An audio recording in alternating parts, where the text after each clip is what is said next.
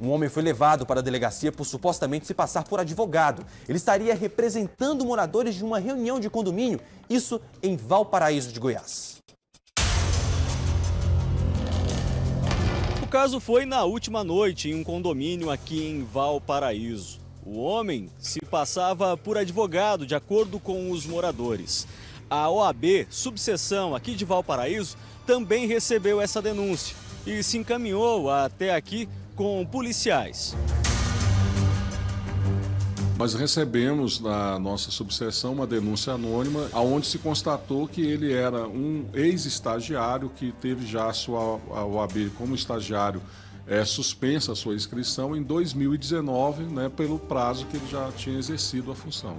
Ao chegarmos ao local, o presidente pediu a identificação de outros profissionais, advogados que estavam presentes, é? e ele se, a, havia se identificado já como advogado, depois como assessor jurídico, que é uma função para advogado, e finalmente como assessor jurídico da Polícia Militar do Distrito Federal.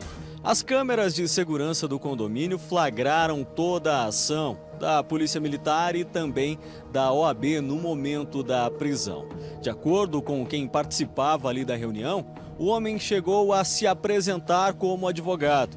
O ex-síndico do condomínio confirma essa informação. Ele se apresentou na, na, na, assembleia que a gente teve como advogado, né, de uma da, da de um dos de, das moradoras e dizendo que era advogado. Até então aí teve uma blitz lá, os representantes da OAB já tomando uma frente, perguntando quem eram os advogados presentes na, na Assembleia, né? Pedindo a carteirinha da OAB, até que chegou nele e ele não teve como é, se identificar como advogado. Em uma gravação da reunião de ontem, uma advogada questiona o suposto advogado e ele confirma que seria representante de um morador. Que é advogado, ele falou, falou-nos agora que é advogado do seu da senhora, advogado de vocês, né? O que, é que o senhor tem a dizer, doutor? Na convenção há uma previsão que determina que eles têm que se candidatar com antecedência. O suspeito foi trazido aqui para a delegacia de Valparaíso, onde assinou um termo circunstanciado de ocorrência por exercício irregular da profissão e falsa identidade. Sim, eu tive uma reunião anterior com ele no escritório de advocacia para tratar de assuntos do, do condomínio, né? E ele se apresentou também como advogado. Ele é bacharel não é, em direito porém ele não está aprovado no exame de ordem da, da Ordem dos Advogados do Brasil. Por isso, ele não está habilitado a exercer a profissão de advogado.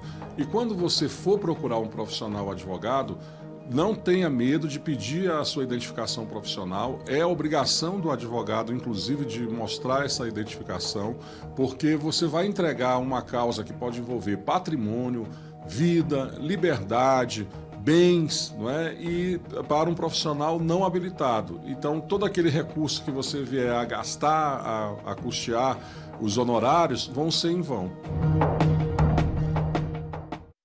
Nós procuramos os envolvidos na ocorrência. Em nota, representantes do escritório de advocacia que estavam participando aí nesta reunião de condomínio disse que o suspeito de falsa identidade, que foi conduzido para a delegacia, compareceu apenas como convidado de outros advogados e também do síndico eleito para acompanhar a Assembleia. A gente segue acompanhando a investigação. A OAB também nos respondeu agora há pouco dizendo que vai apurar, mas informou que o registro dele como estagiário realmente foi cancelado.